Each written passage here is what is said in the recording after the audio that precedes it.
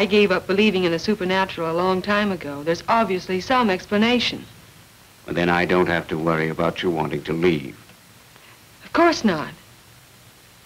But something brought on that heart attack. And if I don't know what it was, how can I be sure it won't happen again? You can't be.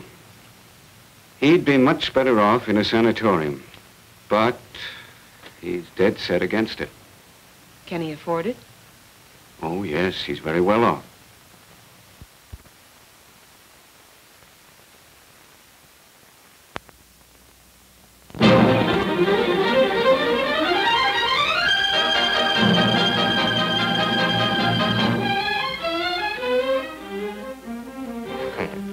Maybe I was uh, what you nowadays call a stooge, huh?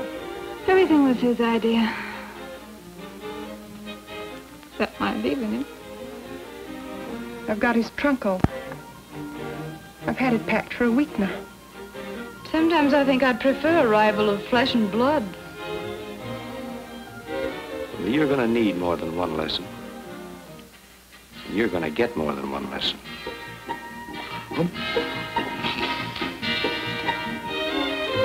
Who's a busy man? Me? I'm chairman of the board. I got nothing but time.